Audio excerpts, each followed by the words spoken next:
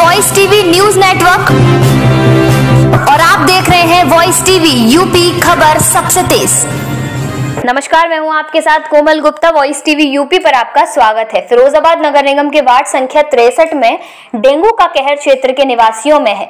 Dengue से होने वाली मृत्यु के कहर का खतरा।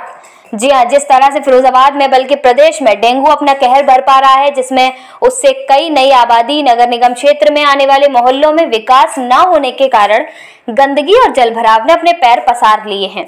और डेंगू के प्रकोप को बढ़ावा मिल रहा है, जिससे आम जनमानस डरा डरा सा रहता है, अपनी ज़िंदगी व्यतीत कर रहा है। अगर बात करें तो बम्बा बाईपास रोड लालपुर मंडी के बराबर से गली में रहने वाले लोगों की मुश्किलें और बढ़ गई हैं।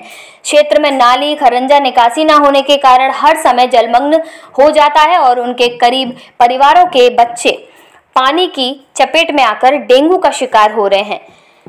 कई बार अधिकारियों को इस समस्या से अवगत भी करा चुके हैं, लेकिन समस्या का समाधान आज तक नहीं हो पाया। अगर क्षेत्र के लोगों की माने तो लगभग आठ दस वर्षों से यहाँ विकास नहीं हुआ। अगर समय रहते नालियों का निर्माण, बस समुचित करंजी की व्यवस्था नहीं की गई तो जलभराव के कारण मच्छर पर अपने से डेंगू, जो इस वीडियो में दिखाए गए हैं छोटे छोटे बच्चे हैं, उनको अपनी चपेट में ले लेगा और वह काल के गाल में समा जाएँगे। तब कहीं जाकर इन अधिकारियों की नींद खुलेगी। अब देखना यह है कि क्षेत्र में अधिकारी कब तक विकास करा पाते हैं। देखें फिरोजाबाद से इरफान अब्बासी की रिपोर्ट।